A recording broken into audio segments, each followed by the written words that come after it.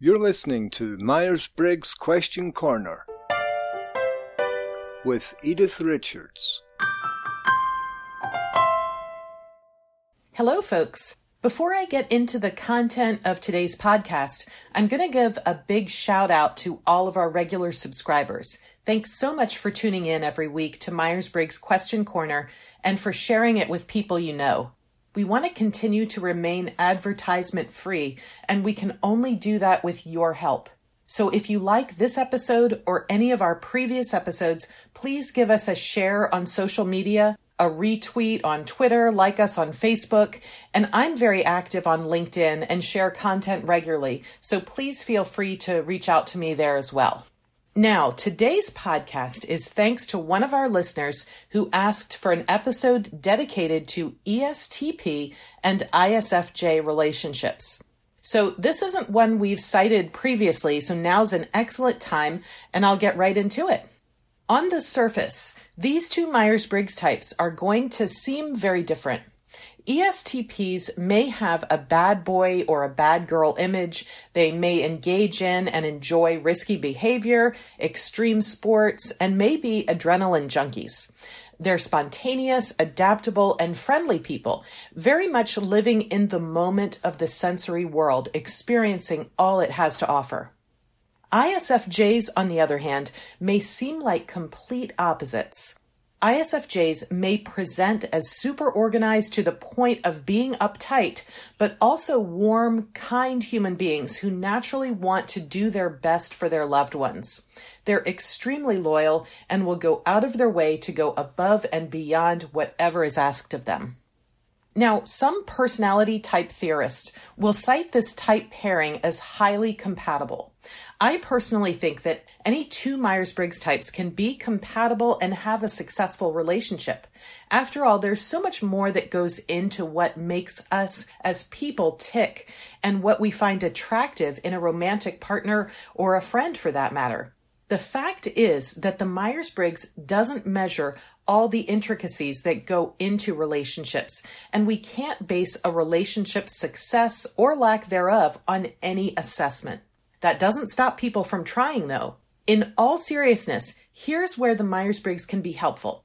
It can help you more clearly identify your own personal strengths and weaknesses, including what you might find stressful when you interact with other people. Myers Briggs may also be helpful in understanding your own and your partner's motivators and needs, but again, it won't predict relationship satisfaction. I'll do my best to bring some understanding to this ESTP ISFJ couple from a type perspective. I'll start with some of the joys this couple might experience, get into some frustrating areas, and then provide recommendations for each. Let's start with the easy stuff. Both are sensing types, so both will prefer to use simple, straightforward, literal language. Both are going to have excellent observation skills. I'm going to guess that both of these types will express their love through actions and not words. And that's where the similarities end. But that's not such a bad thing. People who are in a relationship with their opposite have a tremendous opportunity for growth and chemistry because let's face it, opposites do often attract.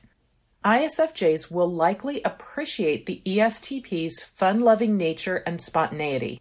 ESTPs will appreciate the ISFJ's generosity and responsibility. There may be a huge spark between these two types, and they have the potential to really balance each other out.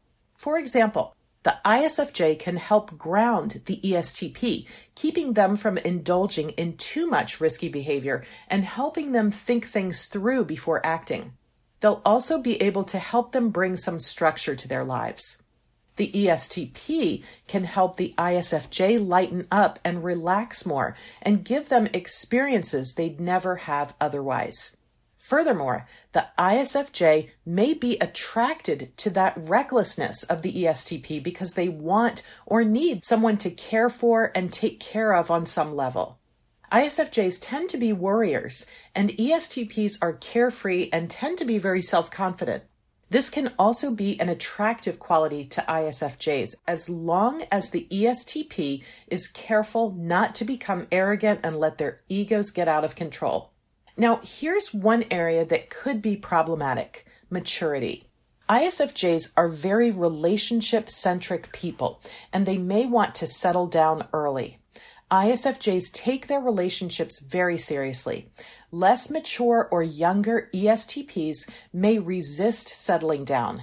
ESTPs, and I'm talking about the type here as a whole, as there are certainly individual exceptions, but they aren't the types most likely to form long term commitments. They are, however, incredibly charming people, especially at the beginning of a relationship. As time goes on, they may get bored and they may just pop up and leave one day. Now, as ESTPs grow and mature, their tertiary function of extroverted feeling comes more into play, and with this will come more of a concern for the needs of others, especially in a service oriented way. This will be an important shared value with their ISFJ partners, as ISFJ's auxiliary function is extroverted feeling. My own thought with regards to this area of maturity is that ESTPs should work on developing their extroverted feeling to maximize the potential of this relationship. This doesn't necessarily mean joining a group or volunteering necessarily. One way to develop extroverted feeling is to work on expressing yourself. That could be through some type of creative endeavor, but also talking to and confiding in your ISFJ partner. Another potentially problematic area is the use of recreational time. ESTPs are doers and they're going to want to travel and try all sorts of crazy things. ISFJs need to be open to the adventurous nature of their ESTP partners. ISFJs don't naturally branch out. They'd much prefer to remain in their comfort zones and stick to their routines. They can become anxious if forced out into the bigger world too much or too soon. But being too rigid isn't always a good thing. Laughing, taking an unplanned vacation, meeting new people, these are all things that can help to relieve stress, and ISFJs are one of the Myers Briggs types most prone to stress. On a positive note, ISFJs will naturally want to please their partners, and they do see the need to experience new things and new people, especially if they know how important it is for their ESTP partners. A third potentially problematic area is communication. ISFJs don't like conflict, and ESTPs may inadvertently avoid conflict simply because they're not aware of it. Similarly, ISFJs are apt to do things simply to please their partners, neglecting their own needs.